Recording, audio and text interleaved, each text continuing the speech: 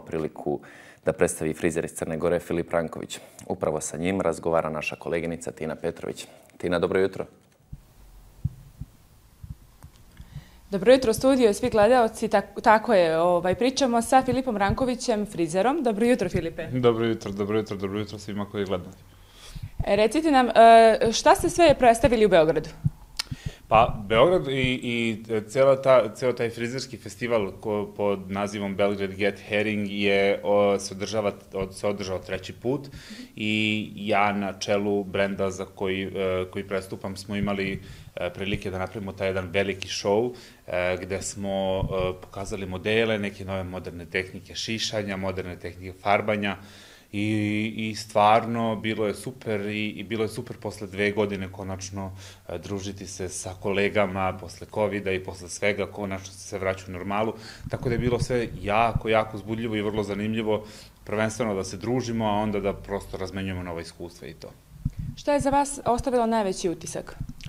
Pa, mislim da je najveći utisak zapravo za mene ostavilo taj moment da sam ja mogu da, da, da konačno ponovo pričam sa kolegama, da, e, da, da, da smo mogli da prezentujemo neke nove stvari, da smo mogli da vidimo neke nove stvari od drugih kolega.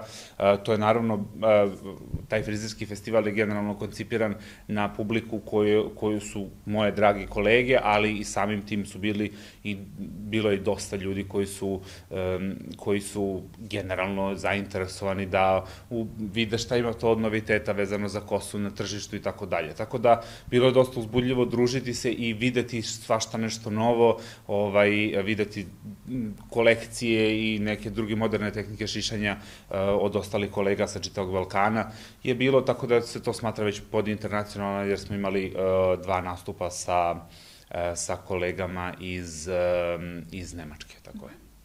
Da li ste razmijenili neke korisne savjete?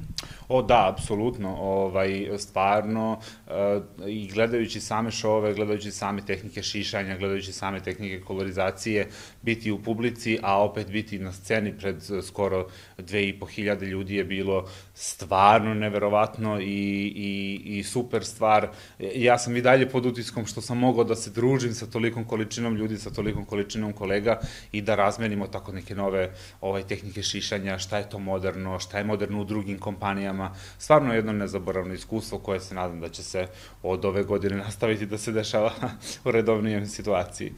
Šta ovaj festival predstavlja za budućnost vašeg salona?